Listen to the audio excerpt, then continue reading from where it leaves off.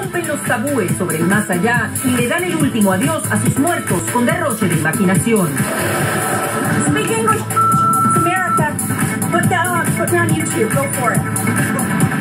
Down with Mexicans that don't learn the language. Con soberbia indignante, una mujer agrede públicamente a una hispana porque no habla inglés. Pareja ideal, pero Jackie Guerrido nos dice que hay cinco tipos de hombres que debemos mantener alejados de nuestra vida. Esto es lo mejor de primer impacto. ¿Qué tal? Bienvenidos a lo mejor de primer impacto. Les saluda Natalia Cruz. Gracias por acompañarnos este domingo. Cuando menos se lo imaginan, los delincuentes en Oaxaca son detectados por la aguda mirada de unos agentes cuya discapacidad los ayuda a tener un alto nivel de concentración y una habilidad de observación fuera de lo común. Fabio Alejo nos lleva a conocer a los ángeles del silencio. Y bien, ¿sabía usted que compartir fotos y videos en las redes sociales, aunque sea con familiares y amigos, podría ponerlo en peligro? Justamente en Nueva York, Nayeli Chávez Geller encontró una nueva aplicación que muestra en tiempo real dónde se encuentra cada persona y es utilizada por los inescrupulosos, algunos de ellos con macabras intenciones. Ya lo sabe, mucha precaución, nuestra privacidad vale oro. Pocas veces hemos visto un acto de humanidad y de amor tan grande como el de una oficial de la policía que al ver que una bebita lloraba hambrienta y se abrió el uniforme y le dio el pecho. Desde Colombia, Adriana Villamarín nos lleva a conocerla.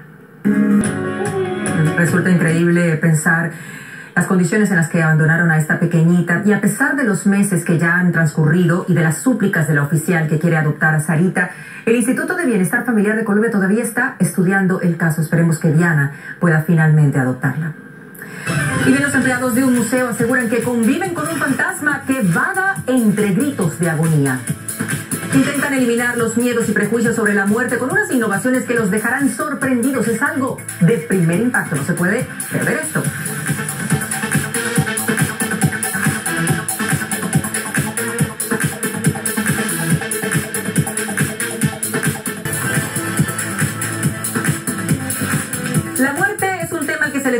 Respeto y también temor, pero los servicios fúnebres son cada vez más innovadores. Vamos a ver cómo algunos le rinden un singular tributo a sus seres queridos cuando van a su última morada. Desde tiempos inmemoriales, los seres humanos han buscado la manera de inmortalizar a sus muertos. En Puerto Rico hay quienes optan por embalsamar al difunto y exhibirlo de la forma que lo recordaban en vida. La última morada de un ser querido también puede ser plasmada en una obra de arte. A pedido de cada cliente, la pintora Lula Lacoco elabora el paisaje con las cenizas del que ya abandonó este mundo, en lo que se ha llamado impresionismo fúnebre.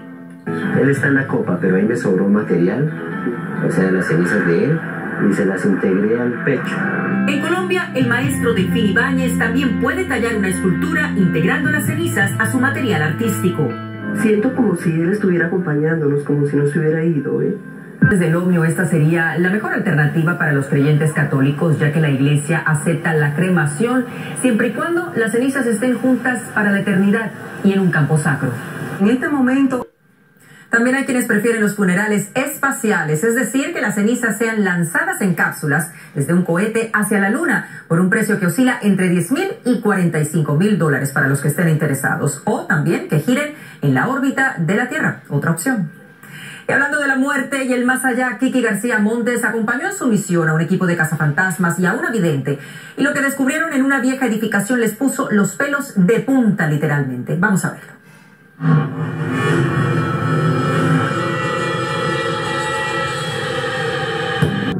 Qué susto. Aseguran que el fantasma de Frank no es el único que ha sido detectado en el hotel. Decenas de testigos dicen haber visto la imagen de una niña que murió hace muchos años de fiebre amarilla recorriendo los pasillos y habitaciones intentando que alguien la escuche. ¿Pero qué cree usted? ¿Cree que es cierto o es producto de la sugestión? Puede escribirme su opinión en mis redes sociales, arroba Natalia. Estaré, por supuesto, muy pendientes de todos sus comentarios, tanto en Instagram como Twitter y Facebook. ¿Y bien hay algún derecho de agredir a un ser humano porque habla en su idioma? La agresión de una mujer contra una hispana es indignante. Les tenemos este video. Y conocerán a los ángeles de los desamparados que salen a las calles a tenderle una mano a quienes más lo necesitan. Sigan con lo mejor de primer impacto. Regresamos enseguida. No dejes que un 1% de diferencia te cueste el doble. No, yo lo hago todo. Pues, Está bueno la de, la de el fantasma. Y el fantasma, no sé qué, eso lo puedo poner un pedacito. ¡Fua!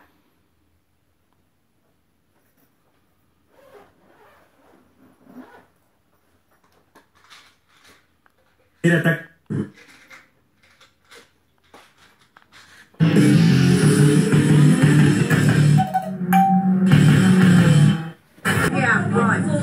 Dice que este es el tipo de persona que le da mala reputación.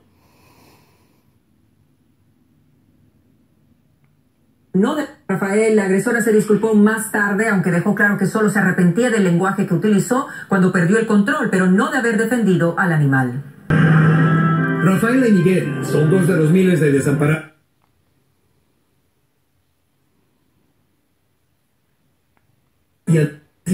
Participaron en el Maratón de Los Ángeles, corriendo las 26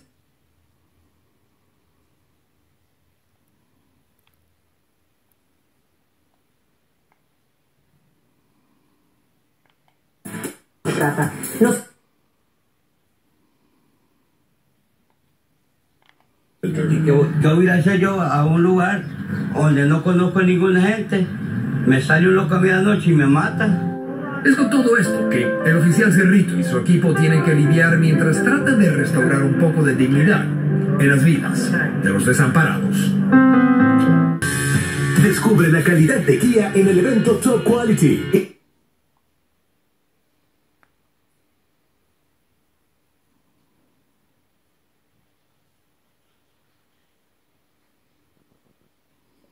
Y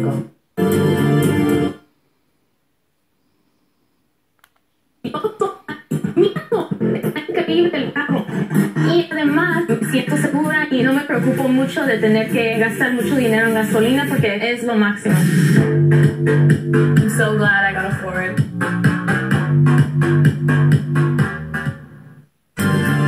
Estamos en Maringá, al sur de Brasil. Estamos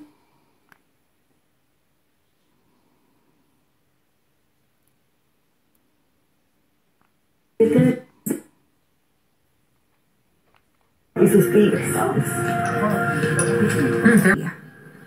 Nada se compara al dolor de una madre cuando ve amenazada su vida y no le quedan esperanzas de seguir criando a sus hijos. Una hispana en fase terminal hace todo lo posible porque sus hijos no sean separados cuando llegue el día de su muerte. Desde Los Ángeles, Salvador Durán nos tiene la conmovedora historia. Que Dios les dé mucha fortaleza a estos hermanitos que se nota son unos valientes. A pesar de las dificultades que enfrentan, los hijos de Marisela se destacan en la escuela. Y si usted quiere ayudar a esta familia, entre a primerimpacto.com o llame al 305-471-4219 de antemano. Le agradecemos de corazón cualquier ayuda que usted pueda brindarles. Vamos a hacer una pequeñísima pausa. Atención, mujeres. Jackie Guerrido habla con una conocidísima figura de la radio y la televisión para saber cómo son los cinco hombres con los que no debemos comenzar una relación. No se lo puede perder. Esto y mucho más en lo mejor de Primer Impacto.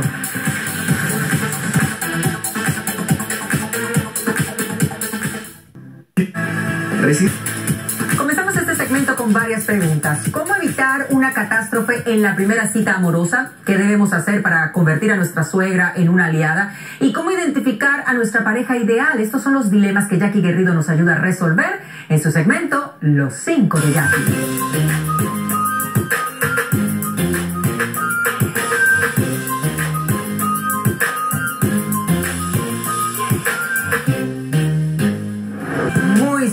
Mis queridas Jackie y Argelia, gracias por esos consejos.